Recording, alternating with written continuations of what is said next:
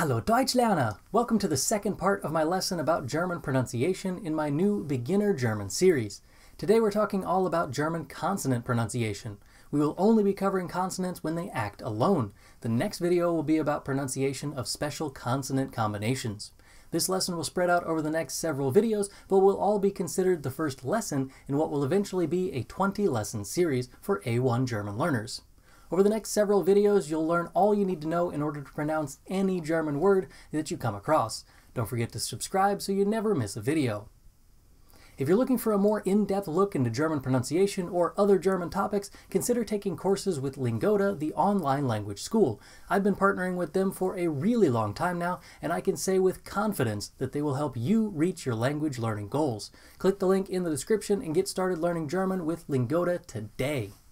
Over on Patreon, you can get a copy of the video script. In today's case, it'll be a breakdown of the pronunciation tips, an MP3 podcast version of this video, and a worksheet for every video in the series. There's a link in the description for that.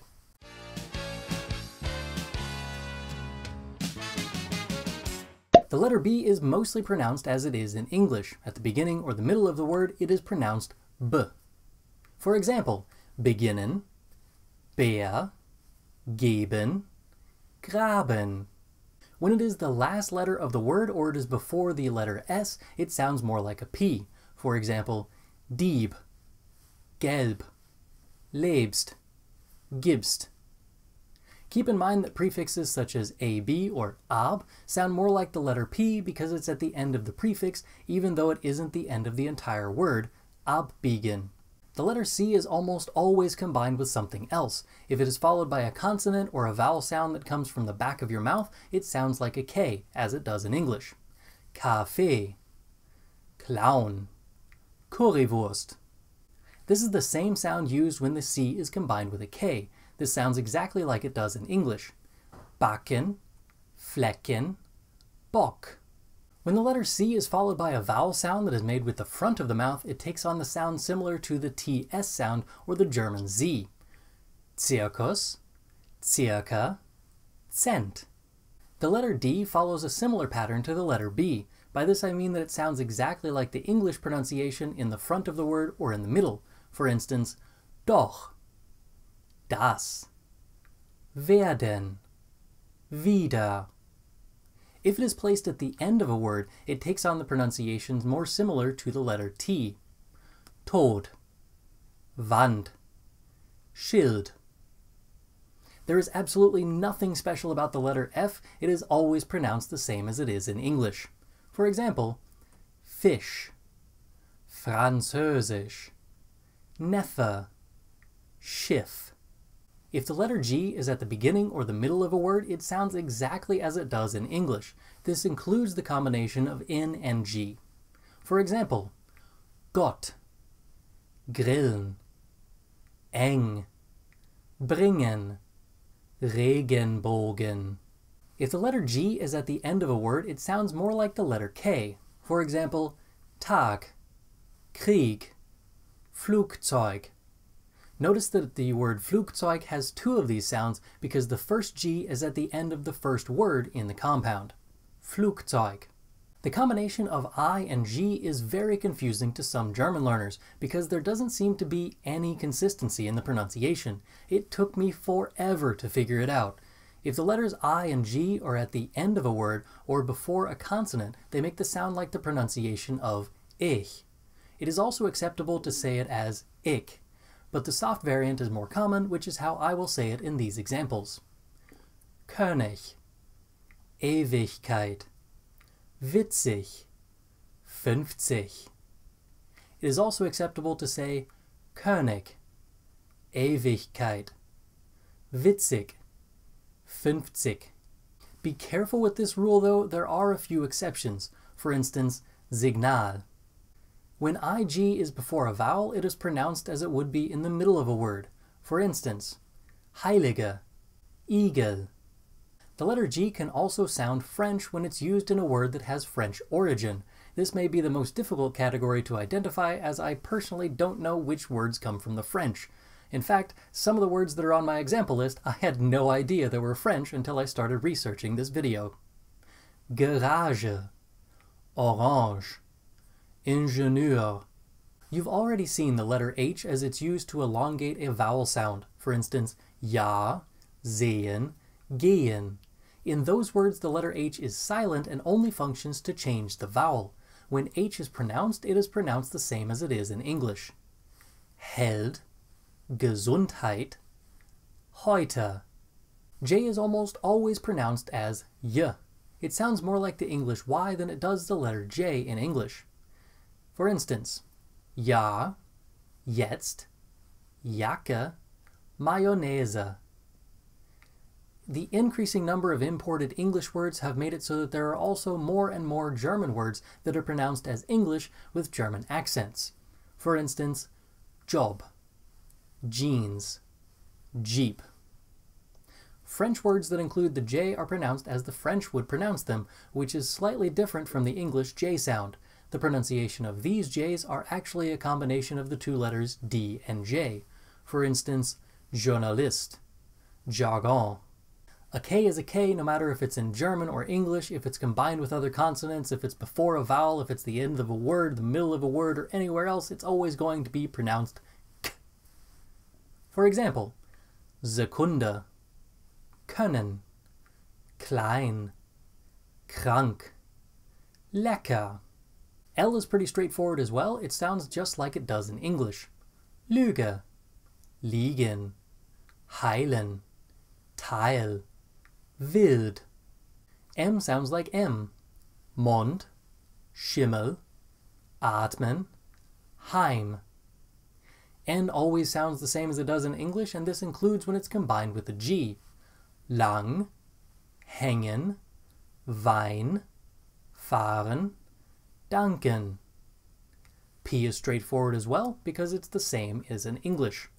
Post, springen, Gruppe, kaputt. Tip. Q is confusing because it sounds like K and V together or K and W in German. It is also combined with the letter U every single time.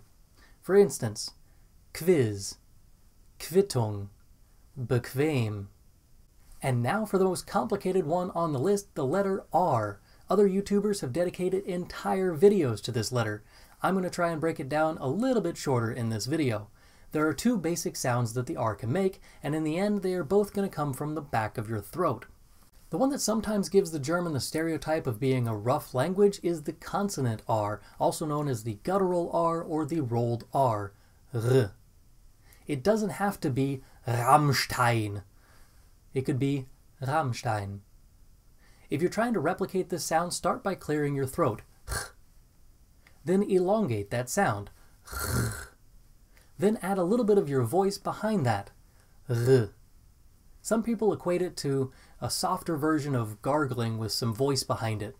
You're really trying to get the base of your tongue in the back of your mouth to touch the back part of the roof of your mouth, then make it vibrate a little bit, and then add some voice behind it. Let's see some example words to see a more solid version of what I mean. I'll pronounce these words twice instead of just a single time like I did with the other examples to show you that you can choose between harsh and not harsh. Regen, Regen. Rot, Rot. Hören, Hören. Her, Her. Dürr, Dürr. Rosen, Rosen. The other R sound is the vocalic R. It sounds more like a vowel than it does a consonant, which is why it's called this. Take the sound that we had for the consonant R and move your tongue just far enough away from the roof of your mouth that it no longer makes that raspy sound. It could also be described as the combination of E and A in German, as this makes a very similar sound, Ehe. It is most commonly used at the end of a German word when it ends in ER. It also shows up at the end of a word after a long vowel sound, and in the middle of a word after a long vowel sound, and before another consonant. If that sounds complicated, listen to the following examples and I'll show you which categories they fall into. Bruder, Mutter, Schwester. They end with er, therefore we say er. Tor, Meer, Chor, Bier.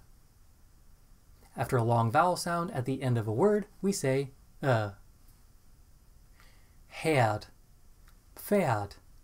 This is in the middle of a word before a consonant. The letter S has two options when it's used on its own, buzzed or unbuzzed.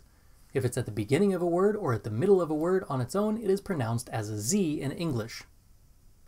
Singen, sitzen, reisen, leise. If you double the S anywhere in a word, or you use the S at the end of a word on its own, it is pronounced like the hissing snake sound that you're used to in English. Gleis, Glas, Schloss, Wissen. This weird looking dude is basically just two S's shoved together. It's called an Eszett. It will always make the sound S. If you have a word that uses this sound in the middle of a word or at the end of the word, it is likely that you need an Eszett. Officially, it is used after a long vowel or a diphthong.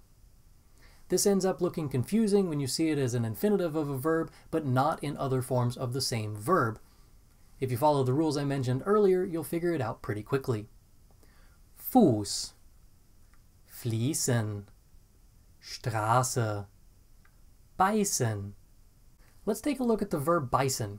The present tense uses the Eszett for all of its forms. That's because there is a diphthong before the Eszett.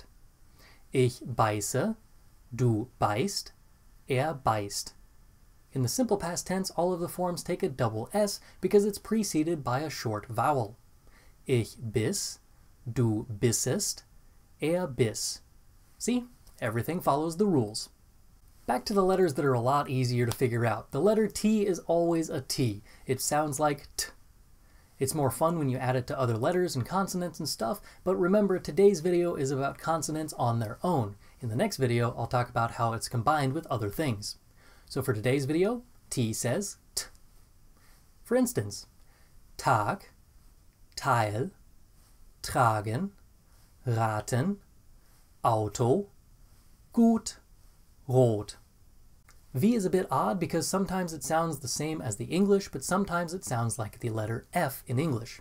If the word is of German origin, it is probably pronounced like f, unless it's at the end of a word, in which case it is pronounced like v. If it is a foreign word, it is probably pronounced v. So, here are a few examples as used as a f. Viel, Vogel, Volk, Vater, Veilchen. And now as a V. Vase, Klavier, Verb, Privat, Universität. W is easier because it is always pronounced as the English V sound, V. Nothing complicated about this letter at all, other than it doesn't sound like the English W, W. It's V. Welt, Wolke, verschwinden, vorwärts. In random English words involving a W, it's pronounced like the English W, but that's because they're just English words being used by Germans. Wow. Show. If you combine the letters K and S, you end up with the sound that you need for the German X. X. There are pretty much no German words that start with an X. Hexe, taxi, flex, you can tell I'm running out of words that use the letter X in German when I use the German word for an angle grinder. The letter Z is like the TS sound at the end of the word hats. It just takes a little bit of practice not to pronounce it like the English Z. Zimmer, zwischen, Zug, Ziel, Salz, Netz, plötzlich, those are all of the consonants in German when they are used on their own. If you want this information broken down into a PDF, I've made that available to my Patreon supporters. If you want to continue learning German with me, click that subscribe button. And if you want a more in-depth lesson in group lessons or one-on-one -on -one lessons, you can click that link in the description for Lingoda. They have fantastic teachers who will help you reach your German learning goals. That's the end of our lesson for today. In the next video, I'll explain how to pronounce German consonant combinations, including the dreaded CH. Bis zum nächsten Mal. Tschüss!